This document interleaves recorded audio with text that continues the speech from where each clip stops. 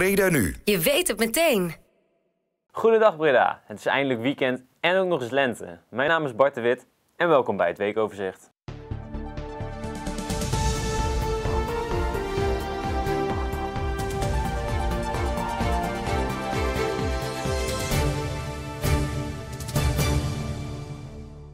Ruim 20.000 Bredanaars hebben een beperking en daar wordt toch niet zoveel rekening mee gehouden als dat we eigenlijk zouden willen. In 2016 werd het VN-verdrag van kracht en daarin staat dat mensen met een beperking recht hebben op een baan, een geschikte woning, een opleiding en ook gewoon om net als alle andere bewoners gewoon gezellig op stap te kunnen gaan in hun eigen stad.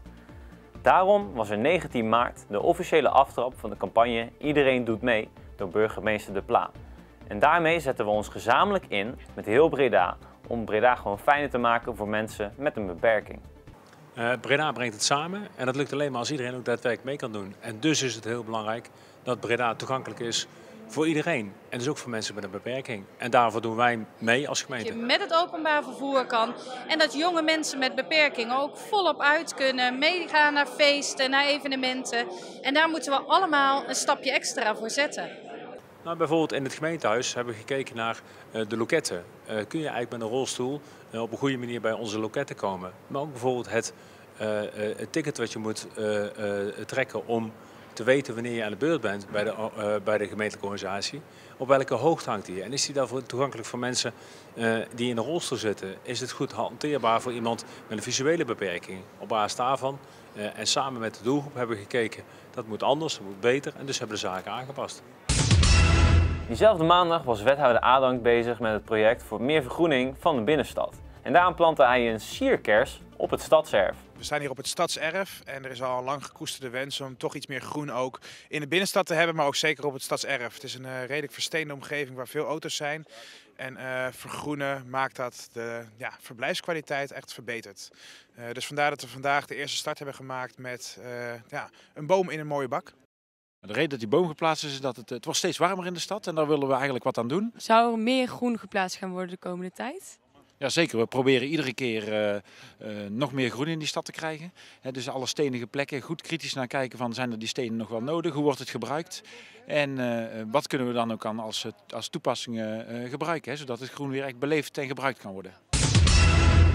In Geren-Zuid worden er 76 huizen gerenoveerd. De bewoners zijn samen met Alwel, en dat is een samenvoeging van alleen wonen en wel, begonnen om energiebesparende maatregelen te nemen. Hiermee worden de huizen verduurzaamd voor de toekomst en het zal de bewoners gemiddeld ongeveer 50 euro per maand schelen aan stookkosten. Een modelwoning is al af en daarom was er een bijeenkomst samen met wethouder De Beer. Uh, nou, het project uh, loopt al uh, een paar jaar. De, voorbereiding is heel belangrijk om samen met bewoners dit helemaal op te zetten. En ehm, dat heeft de, de woningcorporatie, Alleen Wonen heeft dat gedaan in eerste instantie met de bewoners. En op een gegeven moment kregen we ook het verzoek of we vanuit de gemeente ook mee willen denken. Omdat als, ja, het gaat niet alleen over de, de woning en de energiedoelstelling in de woning zelf. Uiteindelijk wil je dan gelijk de hele wijk ook een goed, ja, goede, goede uitstraling geven.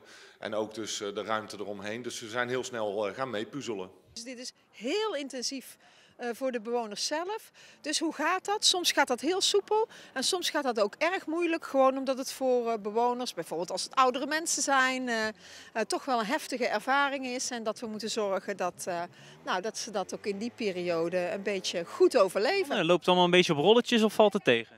Nou, het ziet er heel mooi uit in ieder geval. We zijn bij ons nog niet bezig, maar het ziet er heel mooi uit. Woensdag waren de gemeenteraadsverkiezingen en woensdagavond kregen we de uitslagen binnen. De VVD is verder uitgegroeid tot de grootste partij van Breda met 11 zetels. De lokale partijen moesten hiervoor helaas wel allemaal een zetel inleveren, behalve Breda 97, want die heeft nog wel een zetel weten te behouden. Zowel GroenLinks als de 50PLUS partij wonnen ook zetels en GroenLinks kwam daarbij terecht op 5 zetels en 50PLUS op 2.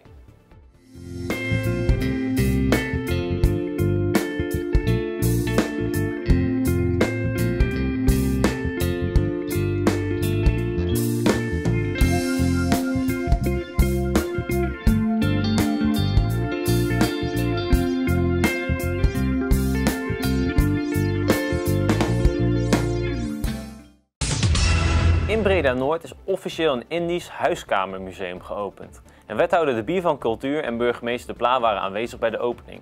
Het museum is een samenwerking van stichting Ariati en woningzorgcentrum Raffi. Het doel van het museum is om het Indische cultureel erfgoed te bewaren en door te geven.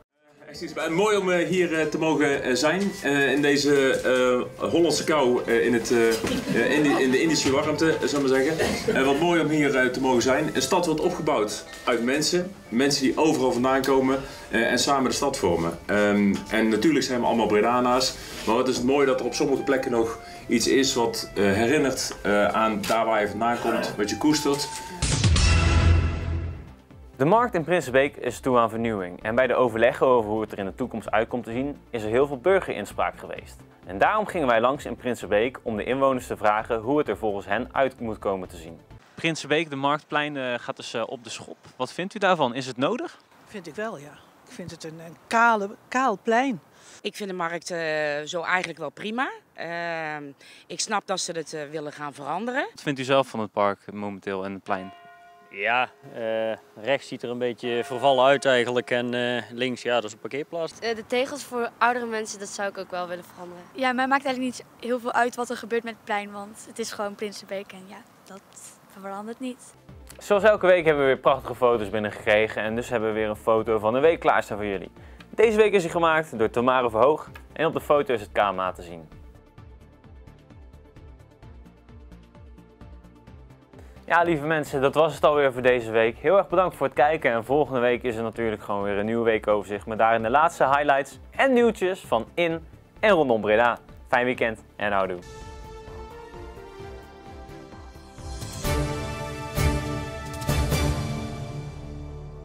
Breda nu. Je weet het meteen.